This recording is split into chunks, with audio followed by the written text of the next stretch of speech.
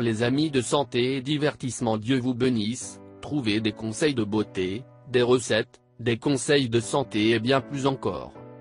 Nous mettons en ligne 10 vidéos chaque semaine, pour ne rien perdre de santé et divertissement, abonnez-vous.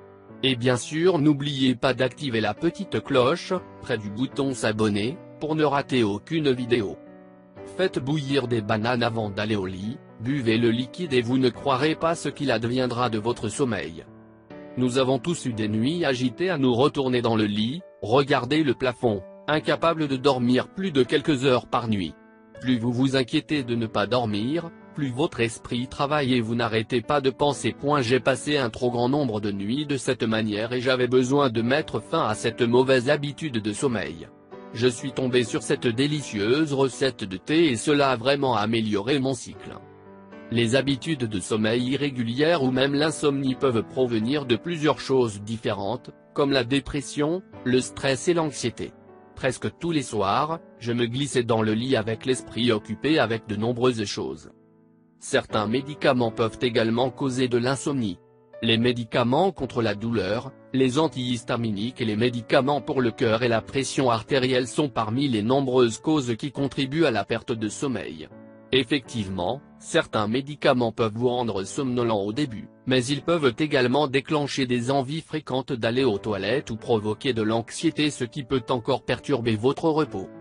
Que ce soit pour l'un de ces problèmes ou peut-être parce que vous êtes accro à votre téléphone quand vous devriez être en train de dormir, quelque chose doit changer. Faites bouillir des bananes avant d'aller au lit. Thé à la banane. En utilisant seulement quelques éléments qui sont probablement déjà dans votre cuisine, vous pouvez faire un thé à la banane en peu de temps. Ce remède de sommeil infusé à la banane biologique fonctionne à merveille et à très bon goût. Comment ça marche? Les bananes, en particulier les plures, sont riches en potassium et en magnésium. Bien que le magnésium aide à prévenir les troubles du sommeil, le magnésium et le potassium fonctionnent ensemble pour détendre les muscles. En fait, le magnésium est l'un des meilleurs minéraux pour la détente.